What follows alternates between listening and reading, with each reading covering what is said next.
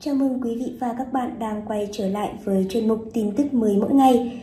Hy vọng quý vị và các bạn sẽ có những thông tin thật bổ ích và đừng quên ấn nút like, share và đăng ký để ủng hộ cho kênh của chúng tôi nhé. Và sau đây, xin mời chúng ta cùng đến với những phần tin chi tiết. Hé lộ do Thu Phương và Dũng Taylor sống thử 11 năm không chịu cưới, thử thách lẫn nhau mỗi ngày Thu Phương cho rằng hai người hiểu rõ nhau cũng là lợi thế để tạo nên những điều khác biệt khi kể câu chuyện ít người biết và vì thế sẽ hấp dẫn hơn. Chị cho hay mới trải qua một số chuyện vui buồn trong cuộc sống nên khi hát sẽ đong đầy trải nghiệm hơn. Chia sẻ về cuộc sống riêng, Thu Phương và Dũng Tây Lơ Du gặp gỡ nhau 16 năm nhưng chưa chịu cưới. Phương và anh Dũng thống nhất cố gắng để đi đến kết thúc tốt đẹp nhất nhưng kết thúc tốt đẹp đang ở đâu đó trên chặng đường đi vì hiện tại chúng tôi có rất nhiều bổn phận trách nhiệm khác chị nói. Người tình Dũng Taylor bảo hôn nhân là sự vun sới của hai người, nhưng Thu Phương không chịu cưới là phải rất tự tin với giá trị của mình. Người Mỹ có câu, tại sao phải mua con bò khi có sữa uống mỗi ngày? Vì sao Phương không chấp nhận? Tôi có điều gì đó khiến Phương không hoàn toàn thoải mái, vì thế đó là gánh nặng của tôi nhiều hơn là Phương. Người bạn đồng hành của Thu Phương thừa nhận Thu Phương chưa chịu cưới, gánh nặng dồn về phía anh nhiều hơn. Ca sĩ Thu Phương vin vào và đùa không lấy là em thương anh đó. Đến thời điểm này, so với nghệ sĩ cùng lứa, tôi có chút tự tin vì trải qua những biến cố.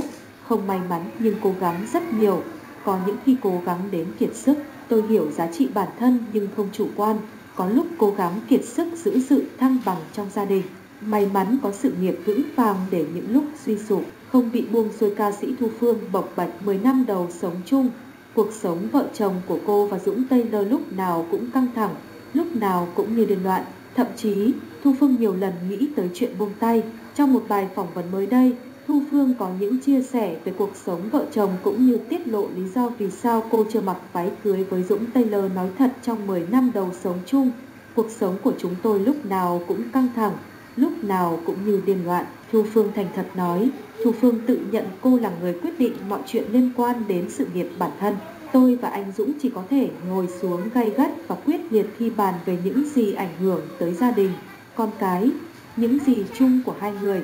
Còn công việc của tôi hay những câu chuyện liên quan tới công việc phần lớn tôi là người đưa ra quyết định. Ngay cả khi anh Dũng cảm thấy tôi bị thiệt thòi, mọi ý kiến không tốt về tôi anh Dũng chỉ có thể ủng hộ bằng cách của anh ấy. Chẳng hạn như viết lên trang cá nhân nhưng đó là quan điểm của anh ấy. Còn tôi luôn muốn mình là người chủ động lên tiếng về mọi việc liên quan tới tôi khi tôi thực sự muốn Dũng Taylor cho biết anh và ca sĩ Thu Phương đã đăng ký kết hôn ở Mỹ sau hơn 10 năm chung sống. Về việc nên duyên vợ chồng với Thu Phương, ông bầu hải ngoại hạnh phúc tiết lộ tôi cầu hôn cách đây hơn 10 năm. Nhưng Thu Phương chỉ nhận lời khi tôi đã vượt qua tất cả những thử thách của cô ấy và hôm nay cô ấy đã đồng ý. Trên trang cá nhân, Dũng Tây lơ chia sẻ khoảnh khắc ngọt ngào kèm theo dòng trạng thái. Tôi là người đàn ông hạnh phúc nhất hôm nay khi được nàng đồng ý, chính thức kết thúc cuộc đời độc thân. Sau bao năm sống thử, tìm hiểu nhau, góp gạo thổi cơm chung, Hôm nay chúng tôi đã chính thức thuộc về nhau Dũng Tây Lơ cho biết anh mất hơn 10 năm để thuyết phục ca sĩ Thu Phương đồng ý làm vợ mình. Ông bầu hải ngoại tâm sự, hơn 10 năm qua, tôi phải trải qua bao thử thách của nàng để được nàng nhận. Đính hôn đối với văn hóa Mỹ là một lời hứa, kết hôn là một lời thề. Cảm giác lần đầu tiên đeo nhẫn tay trái thật lạ, nhưng con tim thật ấm áp vô cùng Dũng Taylor và Thu Phương trải qua hơn 10 năm gắn bó và có chung hai người con. Trước đó, khi chia sẻ về chuyện chưa làm đám cưới, nữ ca sĩ từng bộc bạch Tôi thích một điều là ngày nào anh Dũng cũng phải hỏi tôi một câu Hôm nay em đã quyết định lấy anh chưa? Đối với tôi câu hỏi đó sự yêu thương cố gắng mỗi ngày của anh Dũng hay hơn chuyện mình mặc áo cưới theo Dũng Taylor 11 năm đính hôn của họ là cuộc thử thách lẫn nhau thời mới quen nhau Dũng Taylor độc thân không có kinh nghiệm trong hôn nhân hay chăm sóc giáo dục con cái Thu Phương tin rằng Dũng Taylor chưa đủ trải nghiệm nhẫn nại và bao dung để làm chồng, làm cha. Vì vậy, chị dùng quãng thời gian sau đính hôn để thử thách ông bầu. Ngược lại, Dũng Taylor khi ấy không yên tâm về vợ sắp cưới là ca sĩ nổi tiếng. Anh muốn dùng thời gian chứng minh Thu Phương, Thu Phương có thể sống cuộc đời bình dị, lo cho chồng con và gia đình như người bình thường.